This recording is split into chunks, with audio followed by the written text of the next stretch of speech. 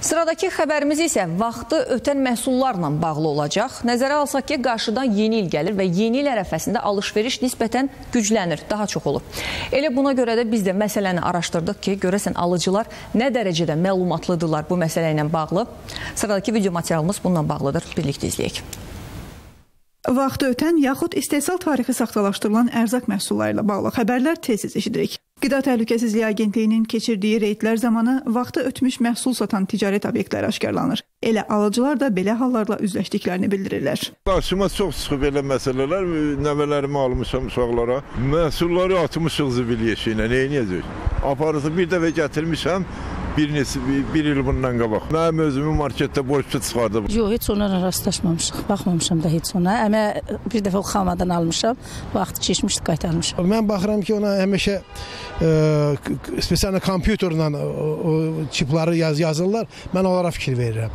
Hə, ona onlarla da alıram. Ona görə mənə elə belə böyünə kimi elə belə bir şey çıxmır. Qida Təhlükəsizliyi Agentliyinin qida zəncirinə nəzarət və regional bölmələrlə iş şöbəsinin müdiri Əkbər Əliyev də araşdırmalar zamanı vaxtı ötmüş məhsulların etiketinin dəyişdirilməsi hallarının aşkarlandığını təsdiqləyir. Bəzi dırnaqarası sahibkarlar bundan istifadə edərək vaxtı ötmüş məhsulların etiketlərini dəyişdirərək istehlak bazarına e, bu cür məhsullar ötürülmüşdür və agentliyin əməkdaşları tərəfindən dərhal bu məsələlərə reaksiya bildirilmiş və e, həmin məsələlərin, həmin məhsulların satışa gedilməsinin qarşısı alınmışdır. Şöbə müdiri əlavə edir ki, yoxlama zamanı mənşəyə məlum olmayan məhsullar da aşkarlanır. Xüsusilə ictimai yaşam məsələlərində görürük ki, adama deyirik ki, bəs bu məhsulun mənşəyi bəlli deyil.